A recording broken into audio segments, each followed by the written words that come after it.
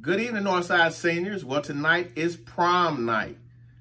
Tonight, prom starts at 8 o'clock at Madison Downs venue. It's going to be a beautiful night. It's beautiful weather. You guys just have just great fortune for your prom night.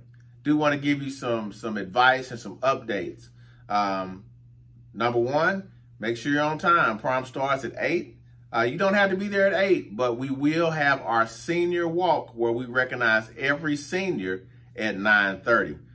So if you come after 9.30, you will miss your senior walk.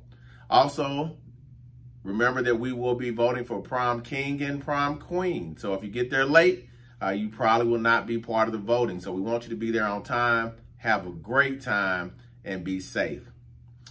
Talking about being safe, uh, we encourage you to make sure you make good decisions tonight. We know prom is an exciting time. We get out, we uh, plan on having a great time with our friends, but there's always the opportunity for disaster. So we want you to make sure that you are sober, uh, that you're driving carefully, uh, that you pay attention to where you're going. Uh, so make sure that you make good decisions tonight. Parents, we want you to know that we will be searching students uh, when they arrive. We will look in cars. We will check cars. So do not come to prom with anything that you do, should not have at uh, a school event.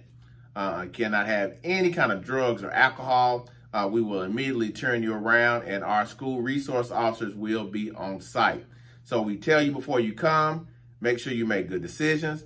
Don't come to prom under the influence and do not have anything on you in your vehicle or on your person that you should not have that is not a school uh, sanctioned item.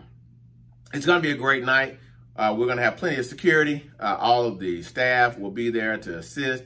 Parents, you have nothing to worry about while your students at prom. We hope they will uh, follow my advice, be careful, make good decisions, uh, we look forward to seeing our seniors uh, just dressed up and looking beautiful. I've already seen some of the young ladies already have their hair and makeup done. Tonight's going to be a special night. It's really this first step toward graduation. So enjoy your night. Be safe. We'll see you in a few hours at Madison Downs venue. We start at 8 o'clock.